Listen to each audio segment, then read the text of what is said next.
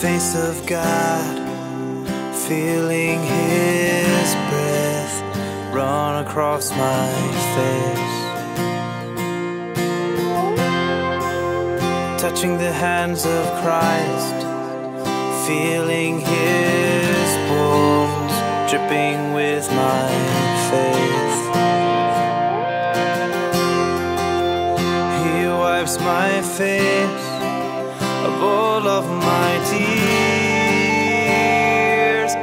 my painful memories.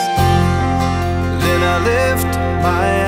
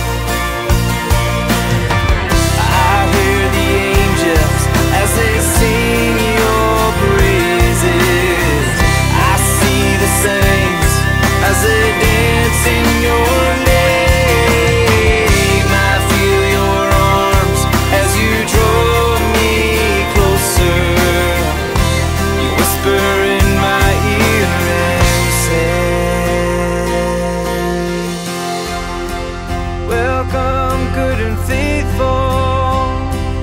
Welcome home.